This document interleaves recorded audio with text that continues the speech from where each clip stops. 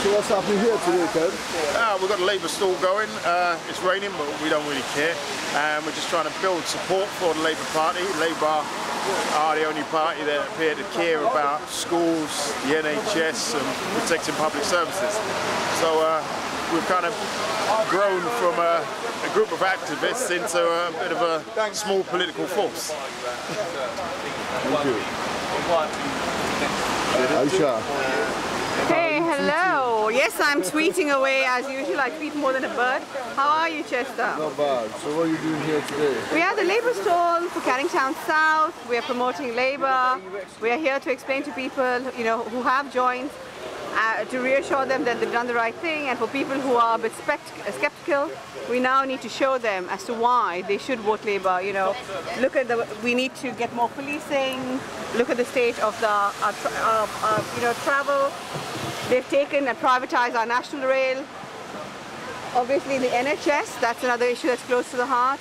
We need to get our services back. We need to get it for the people because we are, you know, a big, a huge community and we cannot sell our services. We need to, we need to claw everything back. We need to bring it back into our hands. What about education? So Well, obviously, education, housing, you know, um, education, housing, politics, they are not separate from each other. Everything is intertwined, and people just have to realize that if you don't join a you know political party, if you don't have a say, you cannot make a difference. There's no point sitting and complaining, saying our services are going. You've got to do something about it.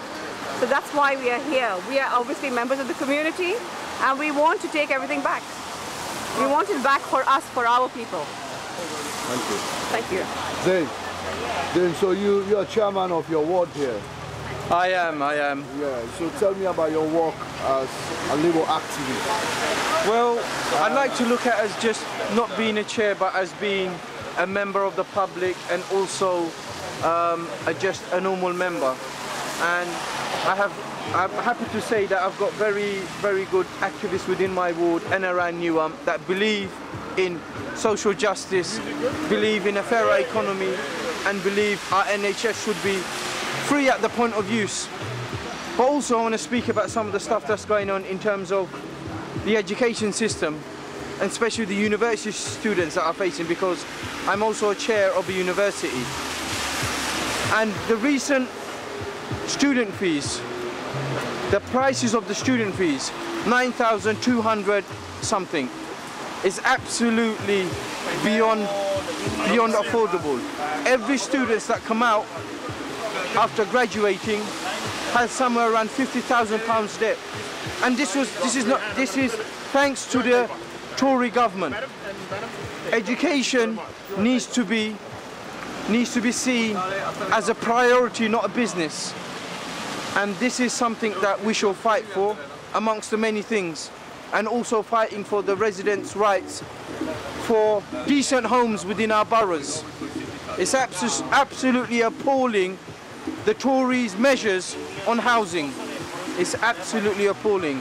And you can see we're quite passionate about housing and education within our borough. Do you think you make a difference by promoting the Labour Party in a Labour majority? I think so. I think that's the only way to get radical change because we need a change at the heart of government in relation to privatisation of, of services. So I think this is our best bet.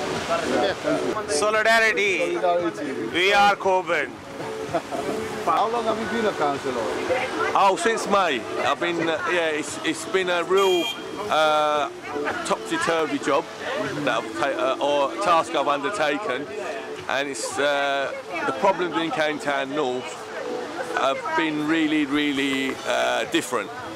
Um, it is what I expected it, and uh, the crime and policing is one of the, my main issues at the moment, which I'm really trying to tack- tackle hard in the ward. And obviously, you know, with police cuts at the moment, it's been uh, really, really difficult to get results for local people. But um, at the moment, we, we've got large amounts of uh, gang issues along the Barking Road in certain areas of Canning Town, which we're work, I'm working with the local police to try to sort out. But again, the resources are not there.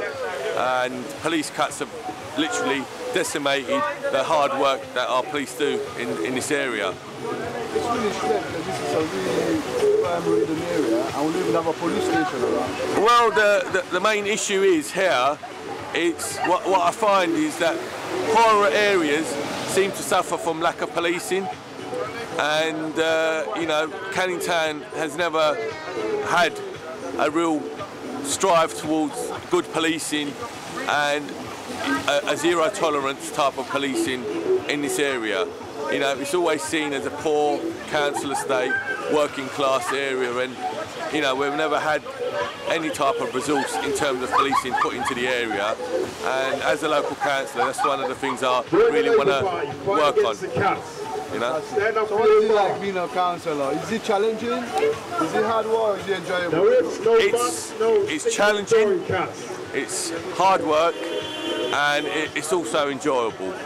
It's enjoyable in, in terms of when you do uh, when you do get the results, when you're trying to help a resident that's had uh, a housing issue or a repair issue, and his repair issue has been going on. It's been an ongoing problem since two or three years ago, and you've been chasing it up. You've been fighting officers to get the repair, repairs done, and when you see the residents' face when finally they get the result of uh, uh, uh, the council actually taking notice of them and uh, doing that repair. It's really baffles me sometimes because the, council have a policy where you have to have a certificate to rent a house. Yeah. And in that certificate, you have to, you know, abide to all the regulation, maintenance of the house, pest, looking after the Yeah. house.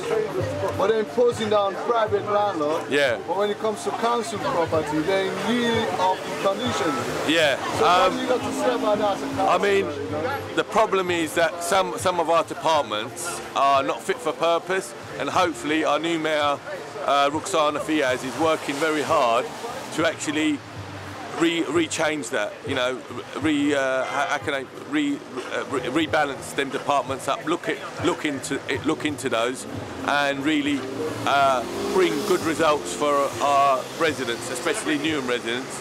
And I mean, her heart is really uh, delivering for her residents. And, and Mahmood, Yeah, I man. want to see you. Uh... yeah, yes. Yeah, man. Come to our street to find out more about the Labour Party.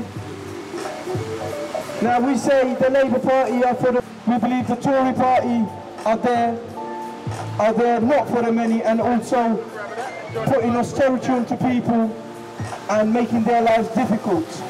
Privatising from the uh, medical care to also our education system. But we want to say enough is enough. Enough is enough. Our NHS shall be free at the point of use. Our education system shall not be turned into a business. So if you believe in many of these merits of the Labour Party, come and join us.